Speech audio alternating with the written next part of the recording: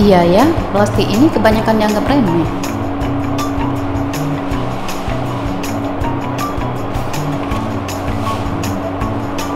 Belanja segini aja plastik segini banyak.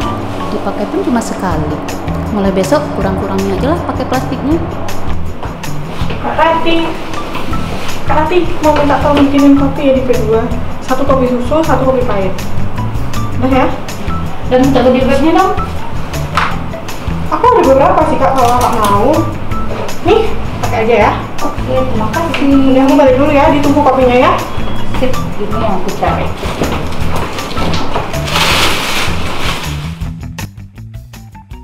Mari jaga bumi ini.